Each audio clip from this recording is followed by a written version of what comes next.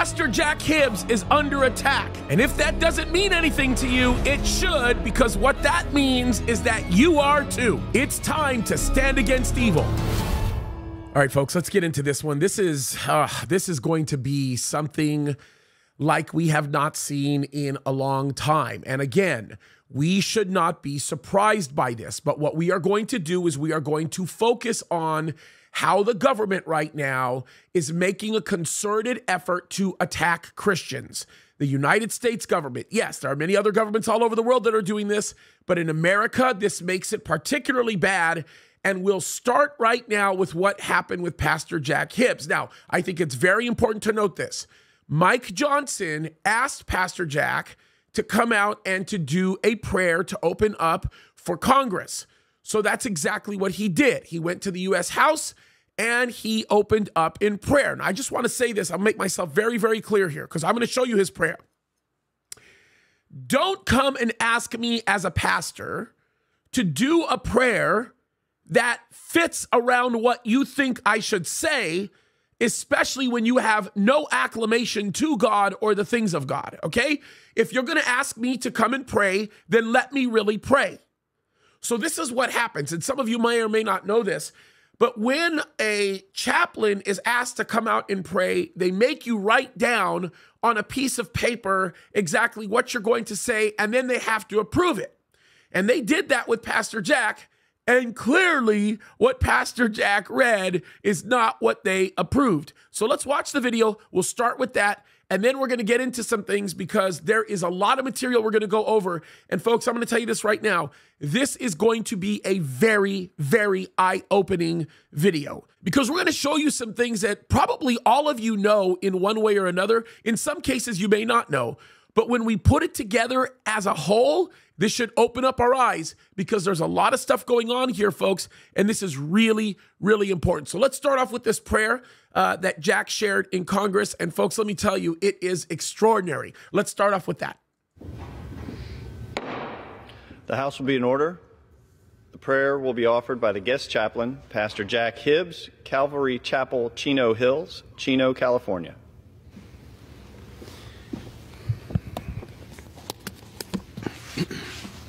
Let's pray. I'm so proud of him. Almighty God and Father of our Lord and Savior Jesus Christ. I'm gonna, I'm gonna let the prayer go through all the way through, but I just want to say, like the very moment I heard him start that way, I'm like, that is not what they approved. because Jack already dropped the bomb. I am so proud to know this guy, to be his friend, to love him, to be a brother in the ministry with him, to serve with him. Man, what a blessing. I'm so proud of Jack.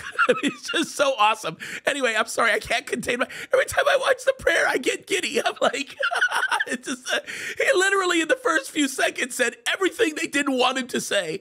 Oh, man. It's just, it's just, I love Jack. This is great. Okay, sorry. A little bit of a raw reaction, but uh, I, I, I just love him. It's just great. What, what a tremendous boldness. You folks over at Calvary Chapel, Chino Hills, you are so blessed to have a pastor like him. What a blessing. Uh, I love serving with a guy that just fights like literal hell. I love it. Okay, let's let's go back and watch this. Okay, here we go. Pastor Jack Hibbs, Calvary Chapel, Chino Hills, Chino, California.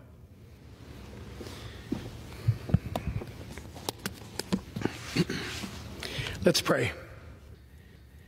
Almighty God and Father of our Lord and Savior Jesus Christ, Together we come before you in humility as a people in need of your forgiveness, your mercy, your goodness, and your grace. For these 250 so years, our fathers in this Congress have prayed for your guidance and protection. And so we stand here in humble petition that you today might do the same, that this nation and its unparalleled constitution your great gift to all freedom loving people might be renewed here and across this land as a beacon of hope to all who seek peace. I ask you today, Father, to bring to us a great awakening of righteousness and confidence in you, who alone is mighty to save. Hear my cry in this hour of great need that we might be humbly blessed before you in the repentance of our national sins.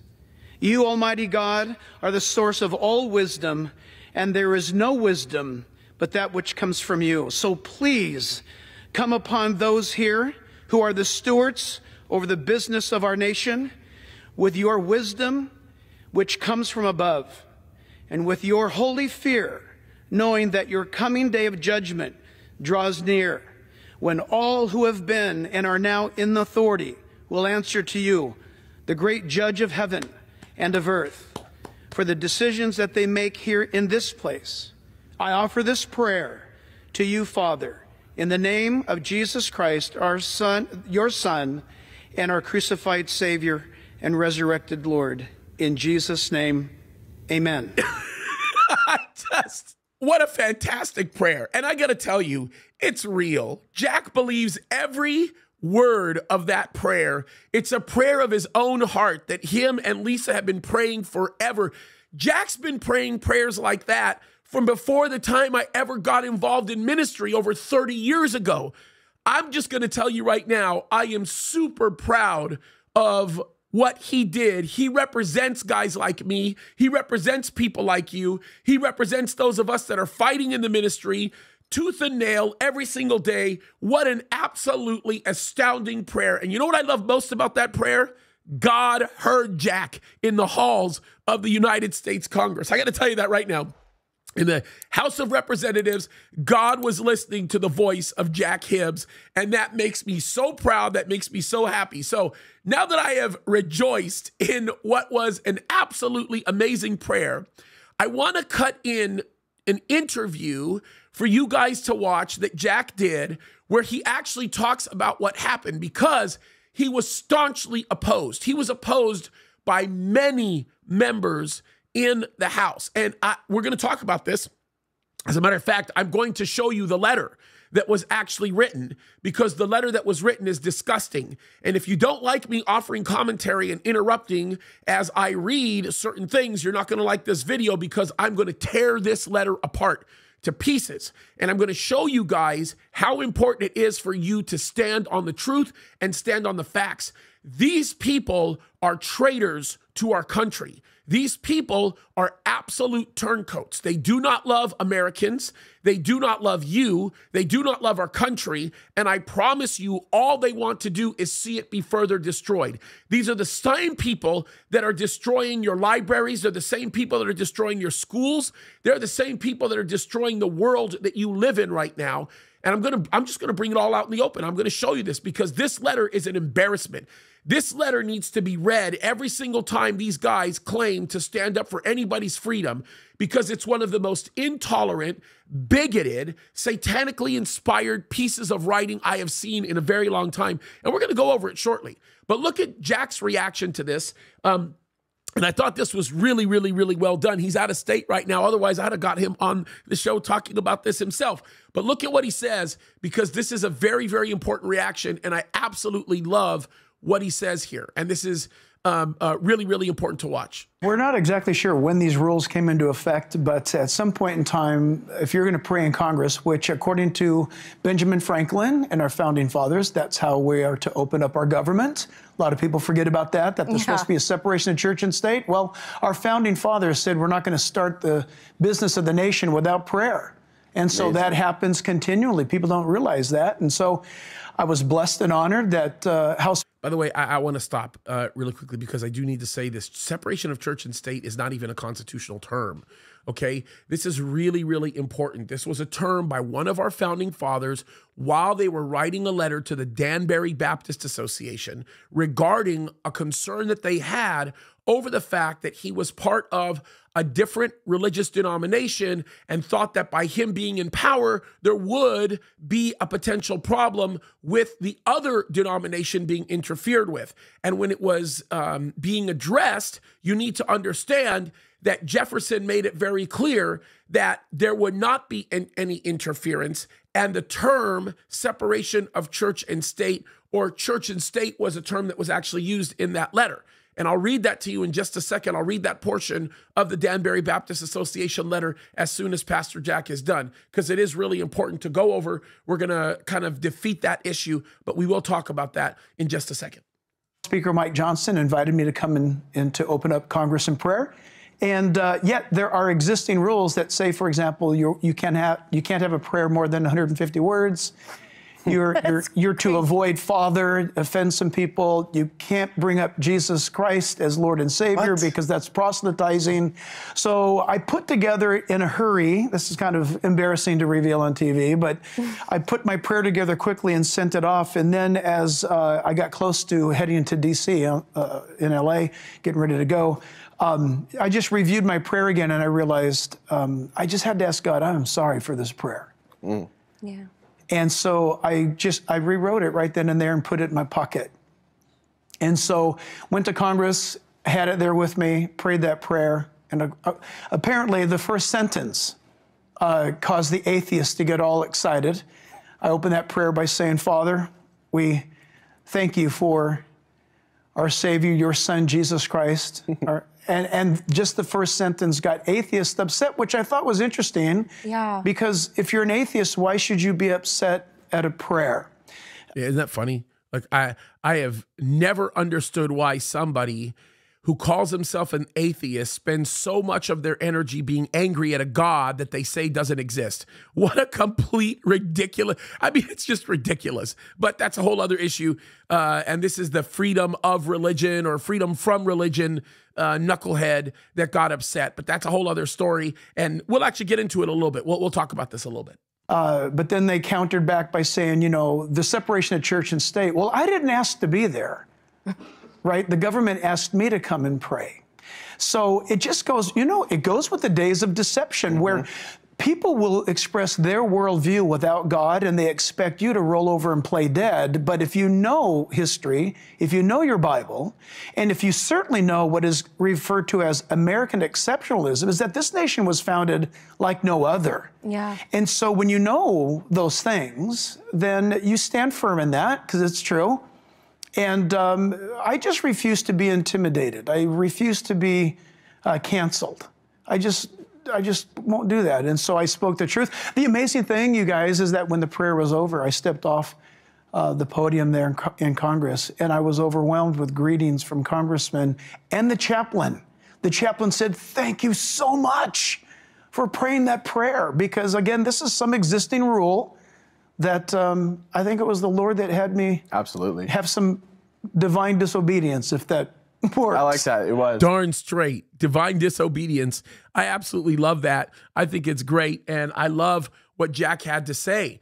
And so um, we're gonna get into this a little bit. The first thing I want to address is the discussion of separation of church and state. Then the other thing we're going to do is we are going to look at this letter, and we're going to show this letter to you as I read it uh, this letter that the United States Congress sent to Mike Johnson and, of course, the chaplain of the um, of the House of Representatives.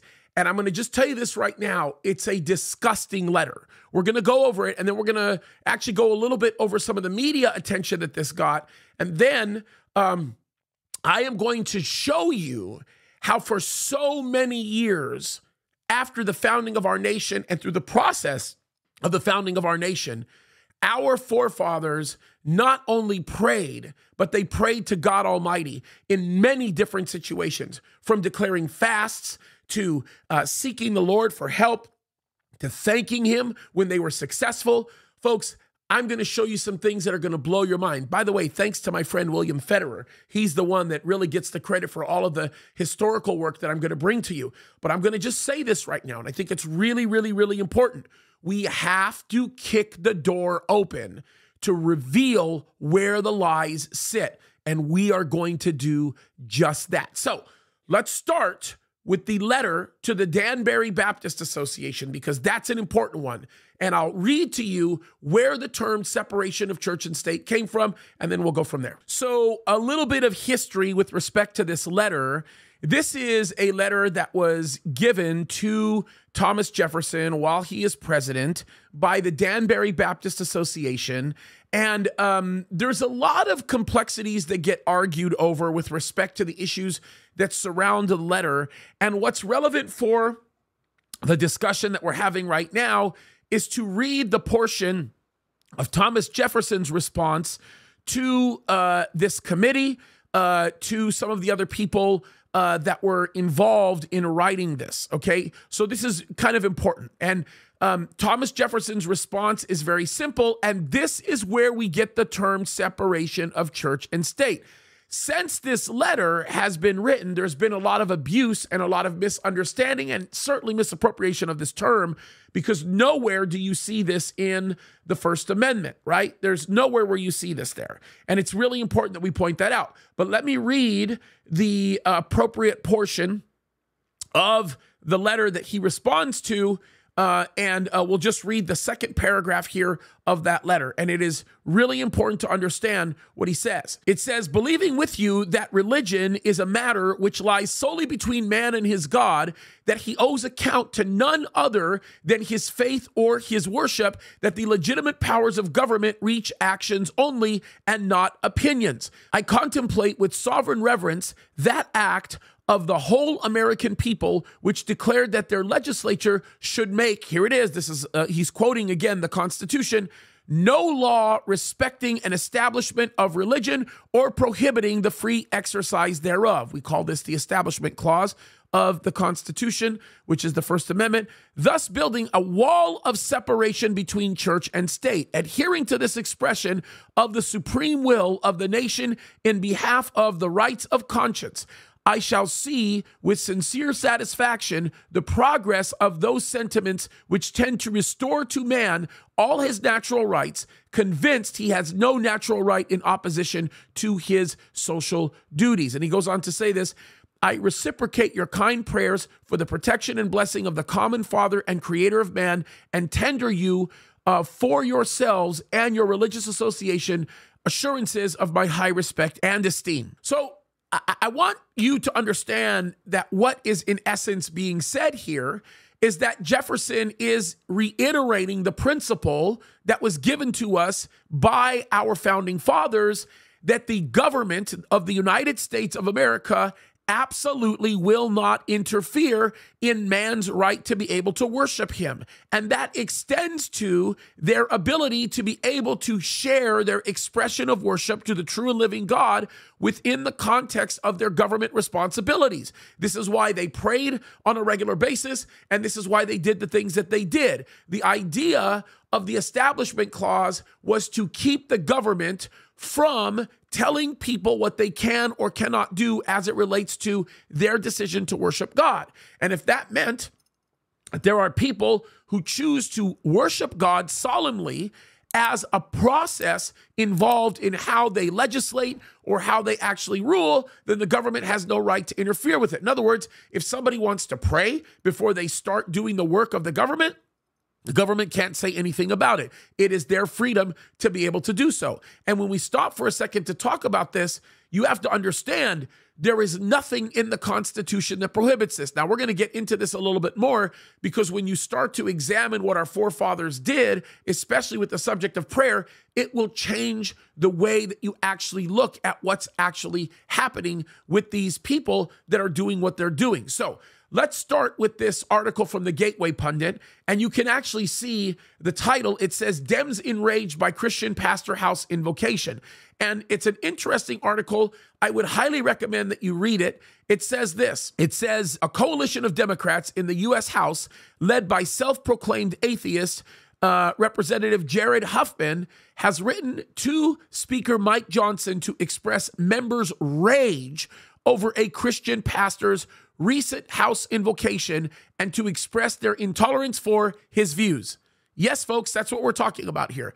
They are distinctly annotating in the written record of our government that they do not tolerate the views of our uh, dear brother, Pastor Jack Hibbs. Uh, let's continue on with the article. It says it was Pastor Jack Hibbs of Calvary Chapel in Chino Hills who had been invited to deliver the invocation and, as a Christian, spoke of a coming day of judgment, right?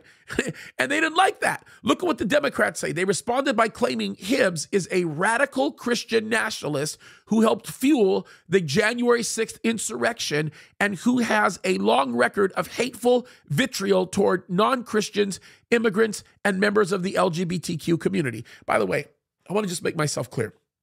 Nothing could be further from the truth. As a matter of fact, in my opinion, I think the most hateful people right now that are in government are the Democrats.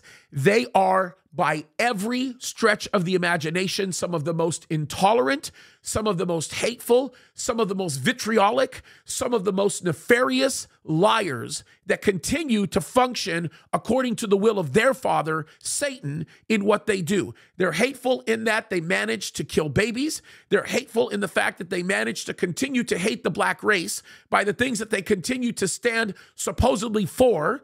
They continue to demonstrate their hatred for the God of their fathers that gave them the freedom that they had, and they hate the United States of America, and they make that very, very clear. They go on to continue to separate the nation by their lies in the name of something that they appear to be honorable or correct, but in reality, these are absolutely wicked and demonically inspired people. Let me read the letter to you and I want to warn you, it is uh, very, very, very angering, especially if you know the truth. And it is absolutely ugly. But this is what the letter says.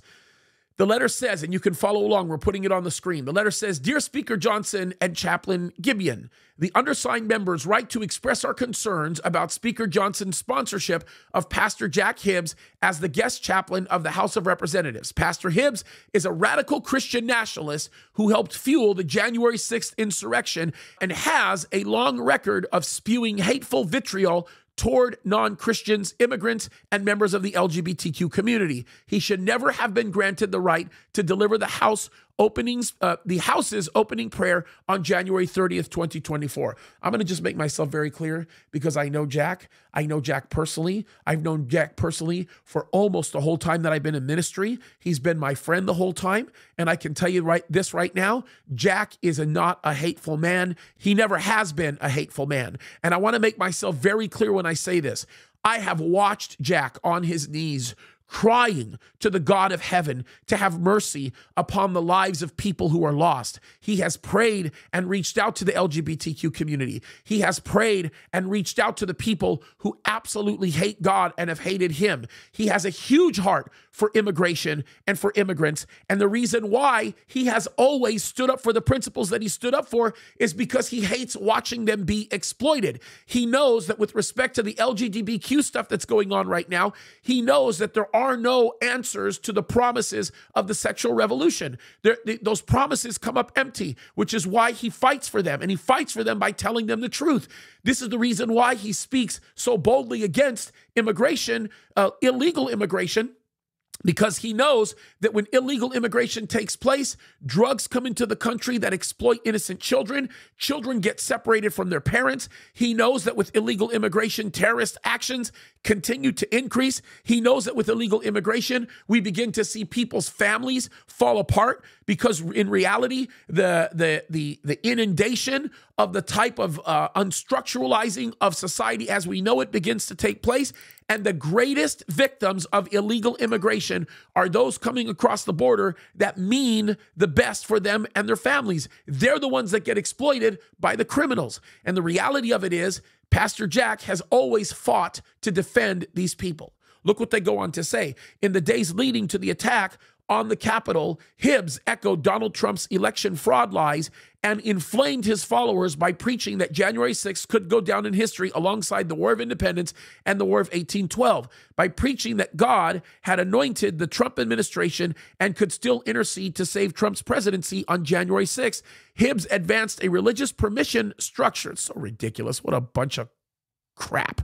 Forgive me for saying that. What a bunch of garbage a religious permission structure that led to violence by those who believed any means were justified to carry out what they viewed as God's plan. On January 6, Hibbs attended the MAGA rally at the ellipse that preceded the attack, immediately after sacking of the Capitol, he went on Tony Perkins' Washington Watch program to tacitly justify what had just happened by repeating the lie that the election was manipulated and claiming this is what you get when you eject God from the courts and from the schools and teach children their evolutionary byproducts. Okay, I want to make myself very, very clear. Jack never encouraged any insidious behavior. He never encouraged any behavior that would uh, cause anybody to go and do damage in the Capitol. Jack has never encouraged anything like that. The only principle that Jack was concerned with was the truth, and he continues to be concerned with the truth. And all of us want to make sure that integrity sits in every aspect of the life that we live, especially as it relates to selecting our leaders.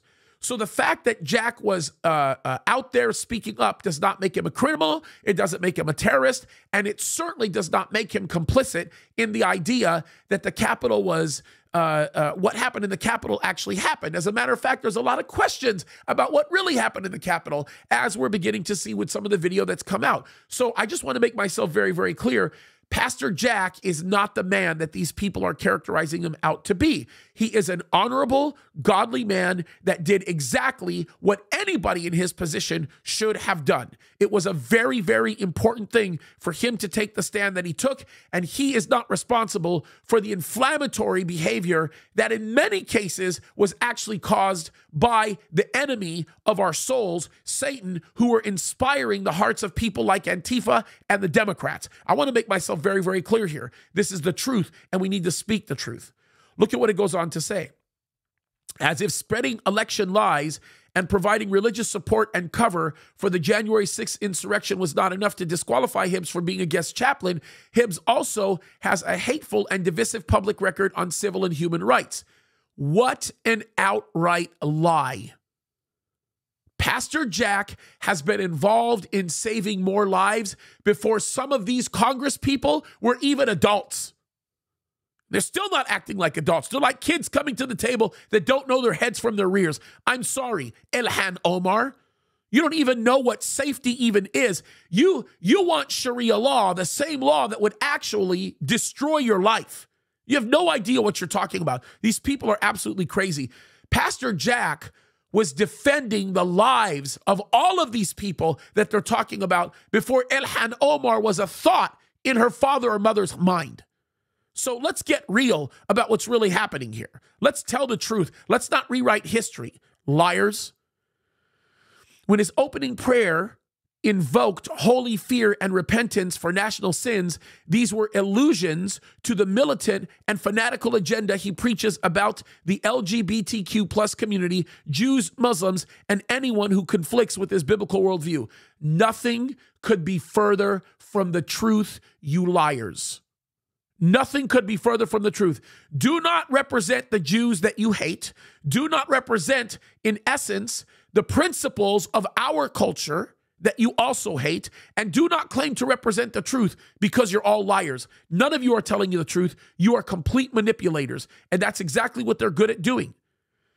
Among other things, he has called transgender people a sexually perverted cult who are in violation of the word and will of God and part of an anti God, anti Christ plan of none other than Satan himself. He launched a nationwide campaign to require schools to out transgender students in order to defeat demonic and dark satanic powers. Okay, first of all, their characterization of what Jack has been seeking to do in schools has nothing to do with targeting individuals who are confused about their sex everything that he has been targeting in schools is keeping the schools from exploiting our children to pornographic material that continues to pervert their minds. And yes, it's satanic. And yes, it's wicked. And yes, it's demonic. And yes, it is completely 100% bankrolled by the devil himself. Okay? I'm sorry, but that's the truth. And the problem is, every pastor that's out there should stand up for this against this letter. Every single pastor out there should not let these people get away with the lies that they're telling because they are exploiters. Let me tell you something, folks. They hate your children. They hate your children. They don't care about your children. How do I know they hate your children? Because they tried to kill your children before they left their mother's womb. Make no mistake about it. They hate them. It's very important that I point that out. Okay? He claims, they go on to say this, he claims that same sex marriage has crucified God's word and that homosexuality and acceptance of LGBTQ plus people is evidence that humanity is living in the last days. And I'm going to just make myself very, very clear, okay? First of all, the lifestyle of homosexuality is unbiblical. The Bible makes that very, very clear, okay? Jack has always loved those who sin, but hates the sin itself because the sin itself destroys the lives of the people who capitulate to it. So I will stand by Jack and tell you that all of this serves as evidence of the fact that we are in the last days. Make no mistake about it. If they look at Jack this way, how in the world are they going to look at me? Are you kidding me? I'm a lot more aggressive in my terminology with respect to all of this. He champions discredited conversation therapy and has railed opposition to California law to reduce anti LGBTQ plus bullying in schools. Okay, what they continue to say is he comes against the idea that you should sit down with somebody who's confused and walk them through the truth and help them through the difficulty they're going through. That's how evil these people are. These people actually think it's a literal crime to try to convince somebody to think differently.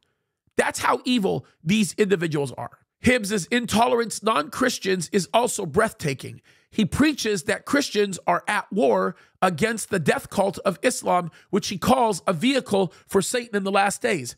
Okay, first of all, you ignorant, foolish people, not a single one of you understand what the tenets of the Quran are. You do not know what these people believe. Take it from a immigrant first generation into this country from Egyptian mother and father, I know exactly what the fundamentals of the Quran are. And if you are an Islamic fundamentalist, then you believe in the death of anybody who comes against Allah, bi'isma Allah, in the name of Allah. So stop your lying, people. You people are liars. But that's just the reality of it. He criticizes Christians who seek interfaith dialogue with Muslims based on a common Abrahamic origins of the two religions as falling for a demonic doctrine being propagated by heretics.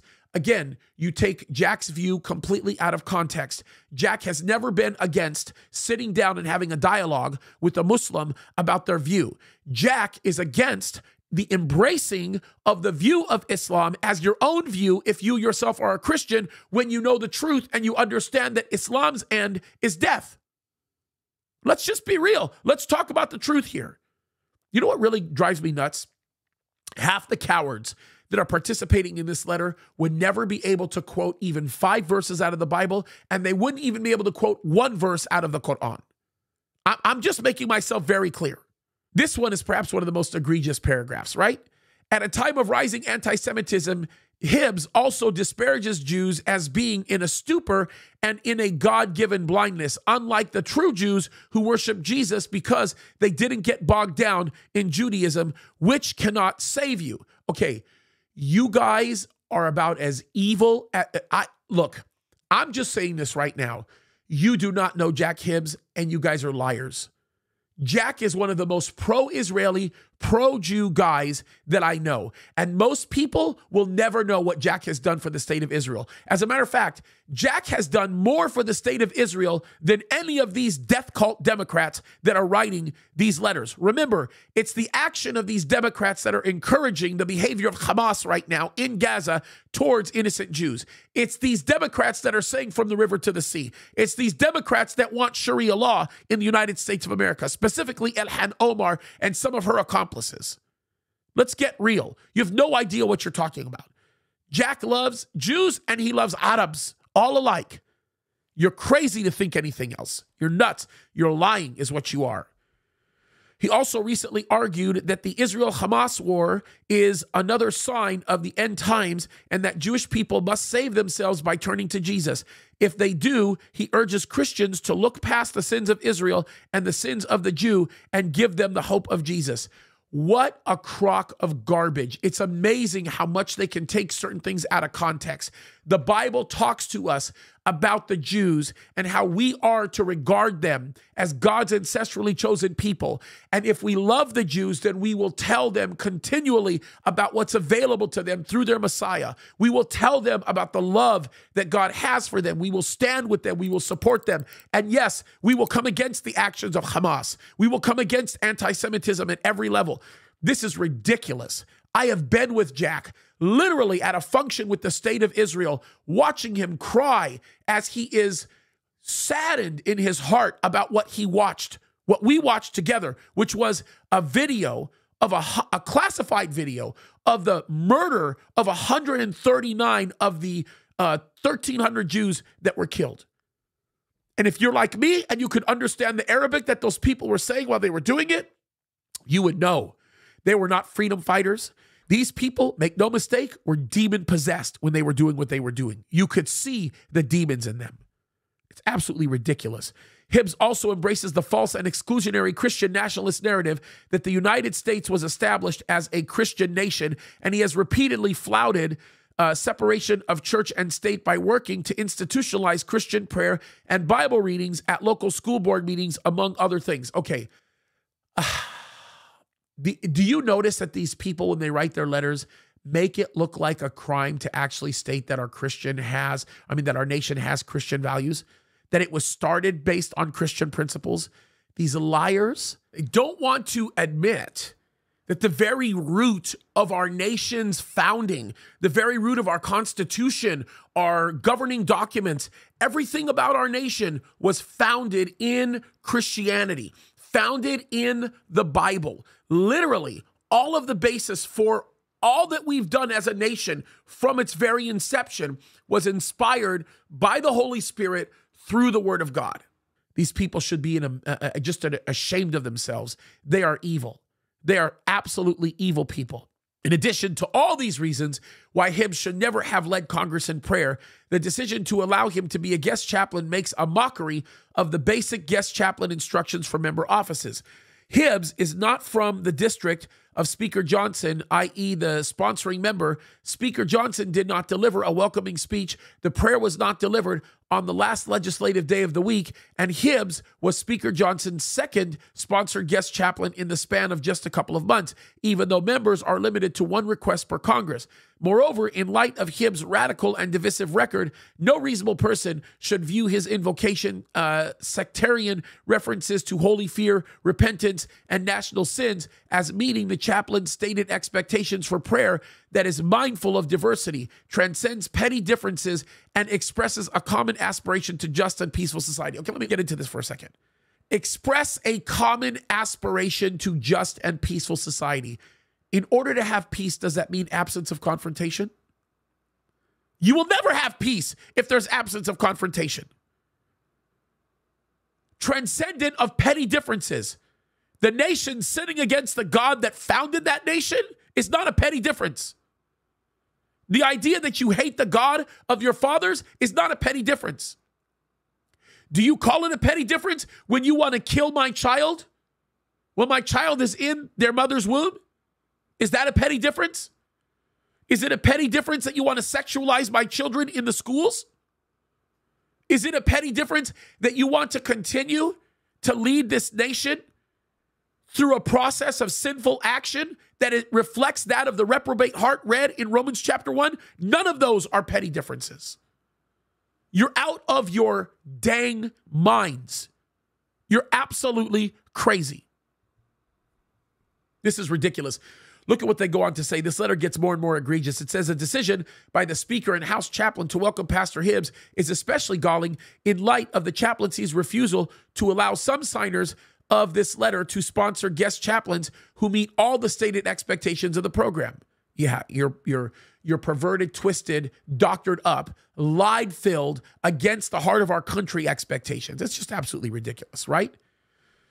We should all be able to agree that the guest chaplain program should not be used as a political tool, nor should it be implemented in a way that favors one religion over others or applies inappropriate religious tests. What a ridiculous pile of crap. If they if they had an, a, a Muslim up there that was getting up and saying, Ya ilaha illallah Muhammad Rasulullah, and beginning to do the Islamic prayers, they wouldn't blink. They've had that done before. No one says anything. By the way, praying the same prayers that the 9 11 terrorists were screaming when they were flying the planes into the tower. Standing on Capitol Hill and saying, Allah, while they're flying the planes into the tower, they were saying the same things. And you see that more appropriate than Jack saying, God, forgive us. We've sinned against you. Have mercy on us. Make our nation great. We know that it starts with our repentance. It's absolutely insane. For all these reasons, we request a complete explanation of the process by which Pastor Hibbs was recommended, vetted, and approved, including the reason why the chaplain waived basic requirements of the guest chaplain program for Hibbs of all people. Please also describe the steps you will take in the future to prevent someone with a hateful and divisive record from delivering the opening prayer and to ensure that people of all faiths and values are equitably represented as guest chaplains. Finally, please explain why the chaplaincy has continued to prevent members from sponsoring certain fully qualified guest chaplains, such as Representative Mark Pocan's constituent, non theistic chaplain Dan Barker. Okay, me, can I just say this? This is a basically a guy who is uh, he, he doesn't he he doesn't believe that God exists, yet he spends a lot of time uh, and a lot of energy in hating the God that he says doesn't exist. That he wants to go up and do a prayer. Who are you praying to? Who are you praying to? You want a guy to go up there to pray to a God that he says doesn't exist? How ridiculous is that? And you people talk about having tolerance for somebody's religious view, and you look at Jack's sincere commitment to Christ and you call it hateful. Folks, I want to warn you about something. These people want to destroy your freedom. They want to destroy your life. They want to destroy your religious freedom. We hope to work with you in the spirit of uploading constitutional protections for religious freedom and pluralism and to ensure that the House reflects and respects our country's essential constitutional values and increasingly diverse faith perspectives. Thank you for your prompt attention to this matter. And look at the people that are signing this, right? Jared Huffman, Jamie Raskin, uh, Mark Pocan. And I'm going to mispronounce some of these names. And quite frankly, I really don't care. They don't even deserve to have their names pronounced correctly. Pramila Jayapal, Jan Schakowsky, Sean Casten, Susan Wild, Henry C. Hank Johnson. What is this? Uh, uh, Jared Nadler. My goodness, Jerry Nadler. What what a traitor to his own people. What a traitor. Jerry Nadler's a joke. Mark Takano, Robert Garcia, Dan Goldman, Becca Balint, Delia Ramirez, Katie Porter, Kevin Mullum, John Garamendi, Eleanor Holmes Norton, Ilhan Omar. Yes, of course, Ilhan Omar. We should expect that. She's the one that started running her mouth faster than anybody. She's a Muslim, by the way. It's interesting to think that, right? You would think that at least as a Muslim, she would accept the idea that there is one God and would believe that that God demand holiness. She's not holy. Ask her brother. Anyway, I'm not even going to get into that. Raul Reese, Barbara Lee, James McGovern, Rosa DeLauro, Julia Brownley, Summer Lee, Gerald Connolly. Think about this nonsense. These are the people that have collectively signed in order to declare Jack a hateful person. I want to close with this idea. And this is where I really thank William Federer because I think William is, gosh, he's such a national treasure. I, I, I love what William Federer says. I'm going to read some of what he says. I think this is so cool. And William Federer brings out some things that are so important for us to pay attention to, and I think mean a lot it, really helps us to understand what exists and what sort of happened in the early days of our founding. I love this. William Federer says this. He says, during the days of America's founding, colonies would declare, look at this, days of prayer when times were bad, days of fasting when times were real bad, and days of thanksgiving when things turned around. This developed into many colonies like New Hampshire and Massachusetts having annual days of fasting, often, ready for this, guys, on Good Friday. There's a document here that we can show you. It's a uh, proclamation for the annual fast. You can see it, it's, it's posted right here. So, what you're reading right now, what, what I'm actually showing you, is prime evidence of the fact that these colonists were not deists, as people would say, who believed God set laws of nature in place and then let everything run on its own. No, they believed in the God of Abraham, Isaac, and Jacob, and they worshiped Christ, their Messiah. America's founders believed in a living relationship with God where if people sinned, he would call them to repent. If they did not repent, he would send judgment. And when they repented and believed, he would send deliverance, health, and blessings. They read the words of Deuteronomy. He talks about what happens. I think in the in the first either 16 or 18 verses or so. He talks about what would happen if the people would listen to the voice of God. And this is relevant because he's talking to Israel, but Israel was supposed to be a model to every nation in the world. So you hearken to, you obey the voice of God. Blessed will be you in the country, blessed will be you in the city. You basically curse God, you disobey, you don't hearken, then God will curse you. It says it all these curses shall come upon thee and overtake thee. Second Chronicles was another picture where God promised that if his own people who were called by his name would humble themselves and pray and seek their face and turn from their wicked ways, that he would hear from heaven, forgive their sin, and heal their land. This is when Israel was in the midst of a major drought. This is in the midst of the dedication of the temple. And God knew that if the people of God got right, then he would restore their land. And again, Israel is the shining light, it's the example for us God wanted to show through Israel what would happen to all the other nations if they followed God or did not follow God. Look at this picture. This is the Pennsylvania Gazette. You can see this.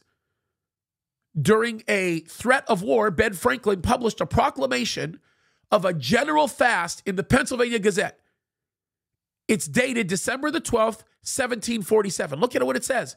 The calamities of a bloody war seem every year more nearly to approach us. And there is just reason, notice this, to fear that unless we humble ourselves before the Lord and amend our ways, we may be chastised yet with heavier judgments. You could see it, it's right there. We have thought fit to appoint a day of fasting to join with one accord in the most humble and fervent supplications that Almighty God would mercifully interpose and still the rage of war among the nations and put a stop to the effusion of Christian blood. Do you guys think it's a coincidence, honestly, that we're in the midst of five wars? And in any one of these wars, there's over 21 nations involved in it, that we meet the literal definition of a world war right now. And more than ever, the nation that was built upon the, the, the, the, the foundation of Christ and his word is falling apart. You think there's a coincidence? You think it's a coincidence that we're being cursed at every level, including financially? It's because we've walked away from God. Think about this, folks. Look, take a moment to just look for one moment at Joe Biden. Joe Biden doesn't even remember his name.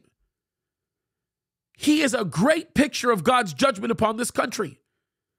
God says, Joe Biden can't even remember his own name. God wants us to see that. Why? Because the United States of America forgot the name of God. And God says, You want to forget my name? You want to forget my word? I will show you a man that will rule you that doesn't even know his own name and leads the nation into destruction. It's heavy. Thomas Jefferson, look at this. You can see the first National Thanksgiving Proclamation. Thomas Jefferson is a member of the House he says, drafted a day of fasting for Virginia in 1774 to be observed on the day British ships blockaded Boston's harbor.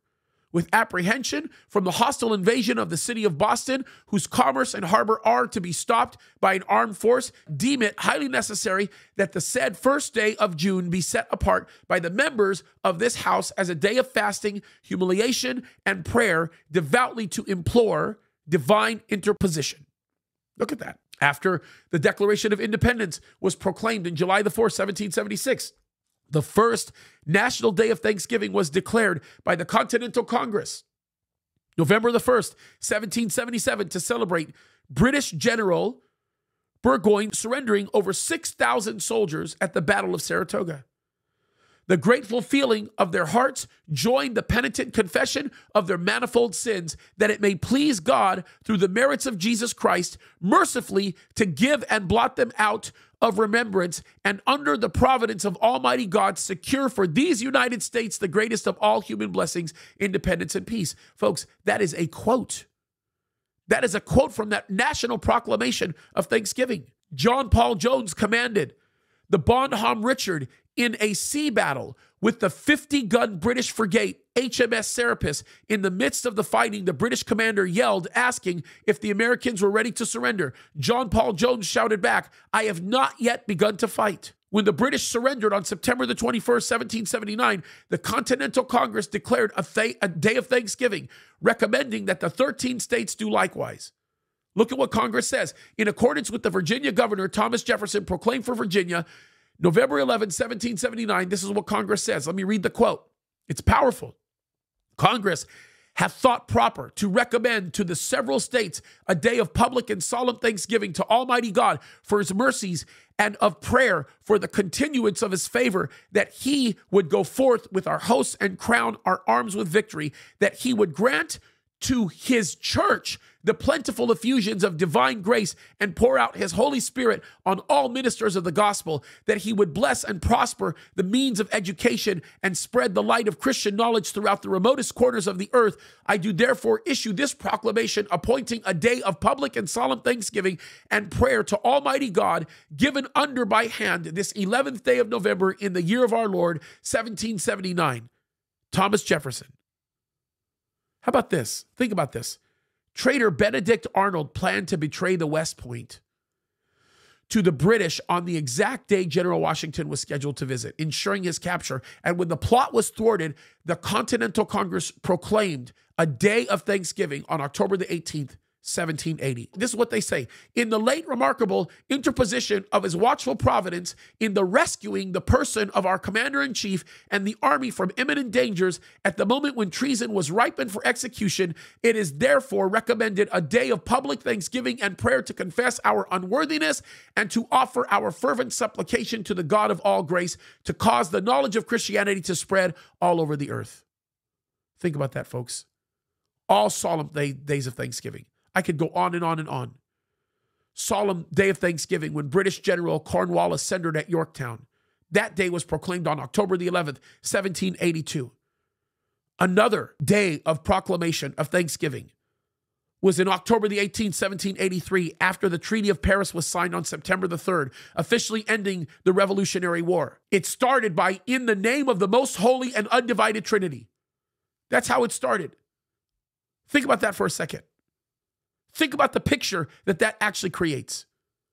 Look at the the the the commitment that they had. Massachusetts Governor John Hancock, yeah, the signer, yes, that that guy, John Hancock, who was a former president of the Continental Congress, proclaimed the day of Thanksgiving, November 8th, 1783. This is his quote The citizens of these United States have every reason for praise and gratitude to the God of their salvation. I do appoint the 11th day of December uh, next, the day recommended by the Congress to all the states to be religiously observed as a day of thanksgiving and prayer, that all people may then assemble to celebrate that he hath pleased to continue to us the light of the blessed gospel, that we also offer fervent supplications to cause pure religion and virtue to flourish and to fill the world with his glory. You can see it. You can see the, the proclamation. We're showing you that on the screen. It's right there.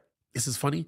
Look at this. The same week that Congress passed the Bill of Rights, which included the First Amendment, it requested President George Washington to issue a national day of thanksgiving to Almighty God. And this is what Washington wrote on October the 3rd, 1789. Whereas it is the duty of all nations to acknowledge the providence of Almighty God, to obey His will, to be grateful for His benefits, and humbly to implore His protection and favor. And whereas both houses of Congress have their joint committee requested me to recommend to people of the United States a day of public thanksgiving and prayer to be observed by acknowledging with grateful hearts the many signal favors of Almighty God, especially by affording them an opportunity peaceably to establish a form of government for their safety and happiness. Now, therefore, I do recommend Thursday, the 26th day of November, to be devoted by the people of these United States to the service of that great and glorious being who is the beneficent author of all the good that was, that is, or that will be, that we may then all unite, rendering unto him our sincere and humble thanks for the peaceable and rational manner in which we have been enabled to establish constitutions of government, particularly the national one now lately instituted for the civil and religious liberty, with which we are blessed to promote the knowledge and practice of true religion and virtue. Amazing when you think about all of this, folks. Think about the, the, the picture that this creates. And we can go on and on. There are more and more and more and more and more and more and more pictures that we can draw of all of these things. How about this? Abraham Lincoln. This is this is an interesting story, right? Abraham Lincoln proclaimed the first annual National Day of Thanksgiving in Washington, D.C. on October the 3rd, 1863. He says, In the midst of a civil war of unequal magnitude and severity, I do therefore invite my fellow citizens in every part of the United States and also those who are at sea and those who are sojourning in foreign lands to set apart and observe the last Thursday of November next as a day of thanksgiving and praise to our beneficent Father who dwelleth in the heavens. And I recommend they do also with humble penitence for our national perseverance and disobedience, commend to his tender care all those who have become widows, orphans, mourners, and sufferers in the lamentable civil strife in which we are unavoidably engaged, and fervently implore the interposition of the Almighty hand to heal the wounds of the nation and to restore it as soon as it may be consistent with divine purposes to the full enjoyment of peace, harmony, tranquility, and union, in testimony whereof I have hereunto set my hand and caused the seal of the United States to be affixed. Done at the city of Washington in this third day of October in the year of our Lord, 1863, and of the independence of the United States, the 88th. By the President, Abraham Lincoln, William H. Seward, Secretary of State. Think about that for a second, folks. Think about that. America was spared a global cholera pandemic, as referenced in President Grover Cleveland's National Day of Thanksgiving and prayer proclamation. And he goes and he thanks the Lord, our Heavenly Father, the same Father that Jack Hibbs was praying to, right? The 100th anniversary of Washington's inauguration, President Benjamin Harrison issued a National Day of Prayers and Thanksgiving, April 4th, 1889. He talks about God's blessing on the government. He talks about a deep faithfulness for all of our blessings, a devout supplication to God. Th- think about all of that. The representatives of the religious creeds, both Christian and Hebrew, have memorialized the government to designate an hour for prayer and thanksgiving on that day. Folks, in his National Day of Thanksgiving proclamation, October 29, 1900, President William McKinley acknowledged the charitable help given to the city of Galveston after a hurricane and the way that he praises the same God that Jack Hibbs is praising. Theodore Roosevelt. This one's, I'm going to read this one to you because this one's important. Theodore Roosevelt acknowledged how rare America is in his National Day of Praise and Thanksgiving proclamation. October 24th, 1903. During the last year, the Lord has dealt bountifully with us. It behooves us to not only rejoice greatly because of what has been given to us, but to accept it with a solemn sense of responsibility, realizing that under heaven it rests with us ourselves to show that we are worthy to use a right and thus been entrusted to our care. In no other place and at no other time has the experiment of government of the people, by the people, for the people been tried so vast a scale as here in our own country in the opening years of the 20th century.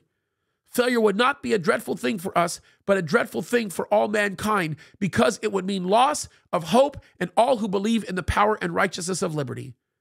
Therefore, in thanking God for the mercies extended to us in the past, we beseech Him that He may not withhold them in the future. Think about that for a second.